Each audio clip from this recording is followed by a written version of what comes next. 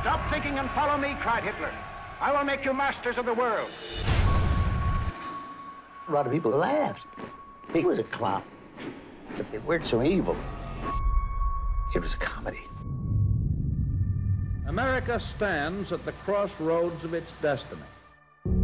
In the early years of Hitler's rise, moviegoing had become an essential part of American culture. But Americans did not realize the extent of the threat Hitler posed. He understood cinema could be put in the service of propaganda. Americans realized we can't win this war. These guys are gonna beat us.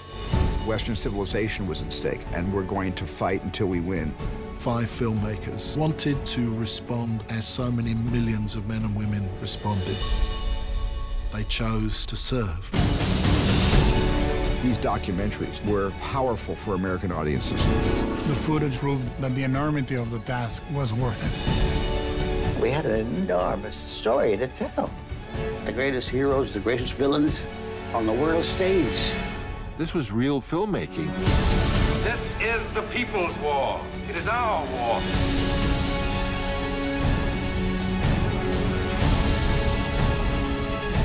These five men, they were saying goodbye to families who never knew if they would return. And yet, coming out of it, each one made their greatest film. I believe a film should have something to say.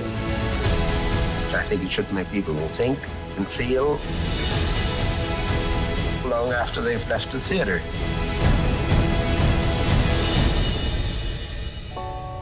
Nothing could prepare anyone for the intensity of the conflict.